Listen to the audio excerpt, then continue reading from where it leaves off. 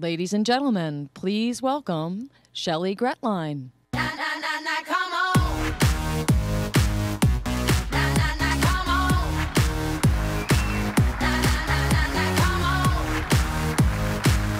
Thank you.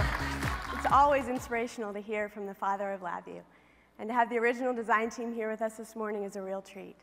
With that powerful backdrop, I'd like to ask all of you now to shift your minds from those first foundational 25 years of LabVIEW into the future, into the next 25 years of LabVIEW and graphical system design.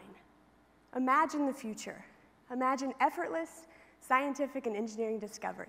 Imagine something better. Now, while we can't unambiguously foresee all of the things that will shape the future, we can certainly see some key indicators, just like the original design team did more than 25 years ago. Soon, you won't care whether on the web or on your desktop. You'll design your hardware with emulation, simulation, and cloud compilation without ever interrupting your design flow. In fact, as tools evolved, your architecture-based design will supersede your now all-encompassing model-based design.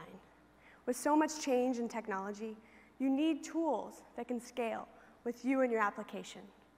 This morning, we'll take a look at how you might apply these tools and technologies to the challenges that lie before you. That original design team and Jeff, they delivered on their challenge to do for engineers and scientists what the spreadsheet did for financial analysts.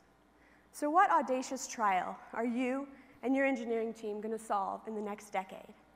What about the next quarter century? As a proxy to the magnitude and complexity of the challenges that you're solving today, the National Academy of Engineering has charged the engineering and scientific community with 14 grand engineering challenges, daunting tasks that require the greatest engineering talent on the planet.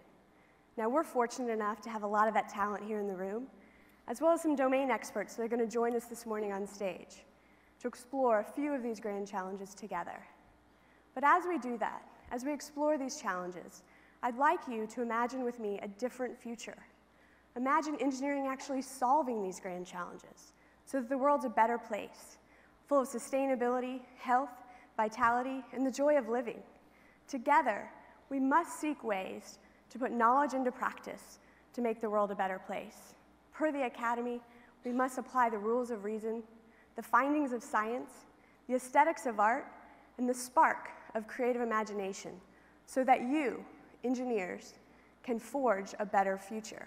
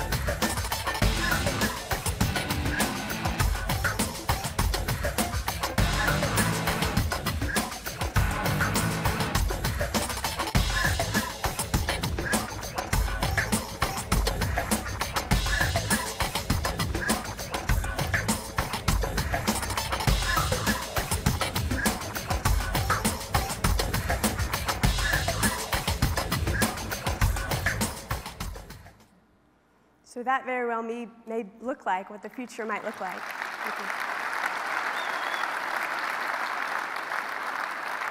The future, which we saw, we can make, we can imagine what the future might look like, what programming might look like.